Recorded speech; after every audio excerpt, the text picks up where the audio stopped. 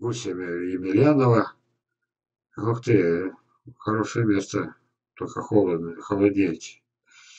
Рада встрече. 18 января зацитировал манчжурский орех и личину. Надеюсь, не опоздала. Ну, я э, манчжурский орех э, делал так, э, примерно, да, примерно в январе. Значит, у меня они зашли. А на тот момент, когда я достал, я их в ведро там, это самое, песком пересыпал, все.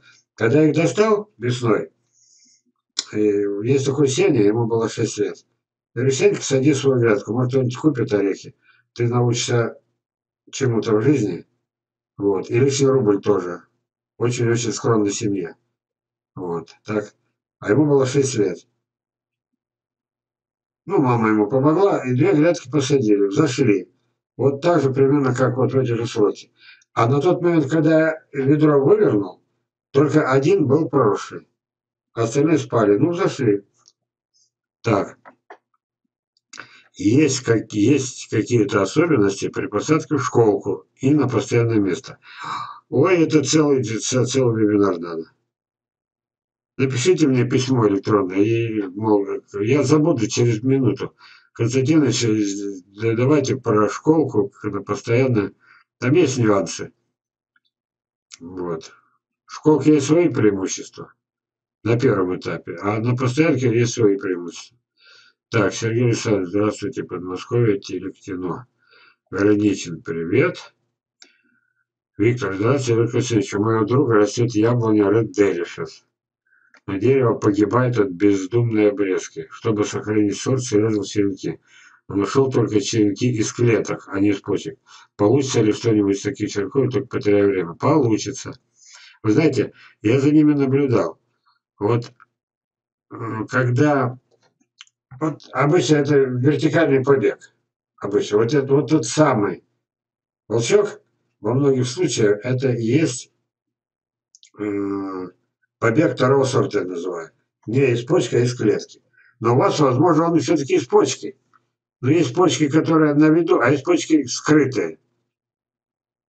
Когда появляется на 20-летней древесине вдруг веточка, вот тут, поверьте, это уже из почки. Но смотришь первый год, какие-то... Я вам показывал фотографии.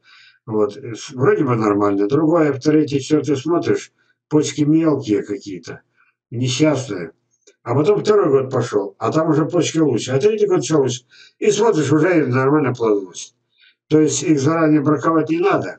По принципу, хотите спасти Red Дефицит Red У меня есть такая яблонька. Э, а, опять делюсь секретом.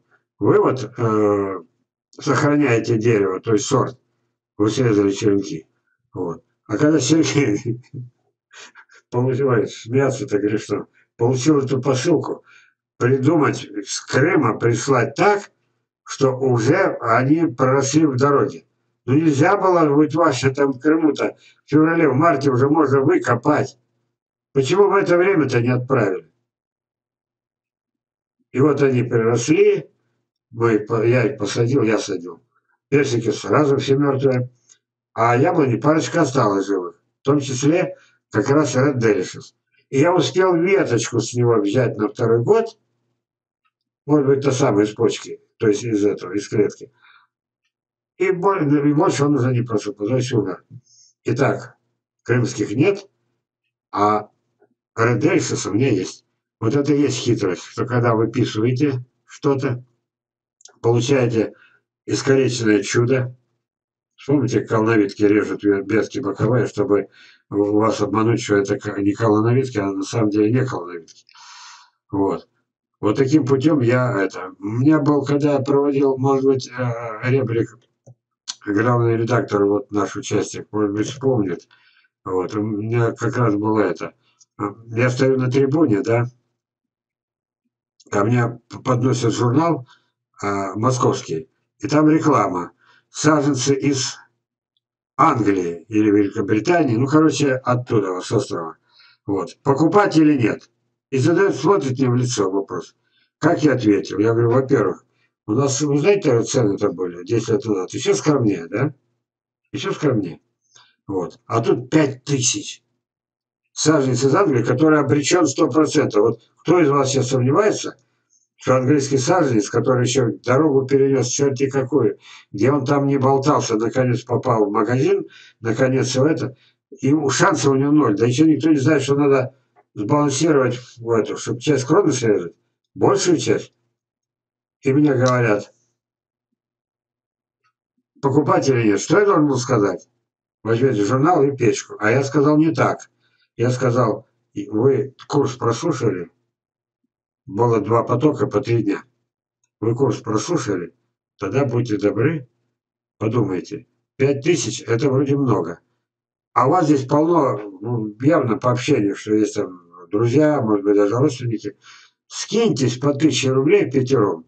И этот же саженец, лишь бы только условия выполнены будут, чтобы он не, не, не, не пришел с, а, это, проснувшийся, как Сергей Жединов и я. Вот. И просто режьте его на куски. У основания, я так объяснял с трибуны, может быть, Эвлик даже помнит. У основания оставляйте несколько почек плюс корни. Смотришь, э, э, эти корни, которые наверняка полугнилые, не морозостойкие, ну, может, для начала выкормит вот этот огрызочек. А все остальное делите на, по 1000 рублей между собой. Вот так я ответил. И на прививку на, на что? Да на все подряд. Ну, естественно, на яблоне. Так, можно ли прививать вишню на черемуху? Можно, только зачем? Значит, виргинскую вишню и черемуху, черемуху, черемуху, в общем, нет, Ладно, не буду называть точно это. Но, в общем, вишня черемуху скрестил э, Мичурин. Это был научный подвиг. Я считаю, практического значения не имел. Иначе сейчас царапатус был, был во всех садах. Вот. А пример я привел. Почему? Раз их умудрился скрестить, это там отдаленная гибридизация, т, т, т. Вот. Это отдельная тема, даже не для всех вас. Вот. И получается, что их прививать друг на друга можно. Раз он умудрился скрестить. Не просто, с хитростью. По принципу нормальные герои всегда идут в обход. Вот так я ответил. Можно. Валерий Константинович, если я вас правильно понял, то сибирская штамба вишня как подвой не совсем надежный вариант. Ого, ненадежный. Что же черешню-то ем? Тогда на что прививать? А на что привал Боднер? Спасибо. Значит, так получилось, что Боднар первое поколение выращивал с косточки, получил э, достаточно, ну, у него потеплее, может, поэтому удалось зацепиться за черемушки этим же черешням. И э, получилось так, что дальше он вынужден был все-таки их привать на вишни. Те же самые, как у меня, такие же вишни. Вот. Теперь дальше. Угу. Так, ну, в общем, я ответил, на что повел бота. На ту же сибирскую самую вишню. Вот. Теперь так, чем она хороша? Если подвой не прошел, то есть привой не удалось, можно и дальше растить, она уже, может быть, или через год-два умрет привой. Она все равно, получается, как бы облагораживает подвой, то есть она уже будет не такая дикая. Уже вот это делает попытку э, облагородить достаточно полезной, так? Вот. Так что вы меня не совсем правильно поняли. Сибирская стамбовая вишня, которая приспособилась в Сибири, это феномен. Просто понять и оценить это, фотография показал, некому. Вы видели, я стою рядом с центром, видели, в саду, в официальном саду. Вы видели, какие там вишни?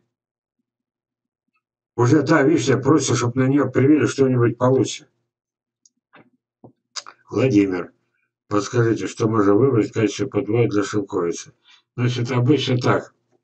У меня опыт маленький, я привал э, на белую шелковицу, у меня не пошли. Вот. А почему я привал черную на белую? Э, ну, был период, когда я увлекался шелковицами. Вот, привал на белую только потому, что в литературе всегда подчеркивал, что именно белая шелковица самая морозостойкая. Естественно, я ее использовал как подвой, так, вот почему. Первые из семечек, выращенные мои шелковицы, давали плоды, как это была, это была насмешка. Вот ноготь, видите? чуть ли не меньше, чем ноготь на мизинце. Это была насмешка надо мной, над моими попытками. Вот, это одна из моих неудач. Второй момент. Не пошли прививки, ладно. Так, и получается, что опять остается только из семян. Вот такое растет? Нет. Нашел в поселке Сизая настоящую шелковицу, достаточно крупную. Ей сейчас занимается наш друг, а, этот самый Алексей Алексей Иванович. Вот, он уже у меня... Я сейчас, наверное, еще раз его продемонстрирую. Сейчас, если успеваю. Я хочу что сказать. Значит, третий вариант укоренения шелковицы. Вот. И это значит, что если шелковицу укоренять, можно добиться успеха, как я добился. Все-таки до 40 выдерживает. Теперь так. А, может быть, потом вернемся к Алексейку, он свежее письмо у меня лежит.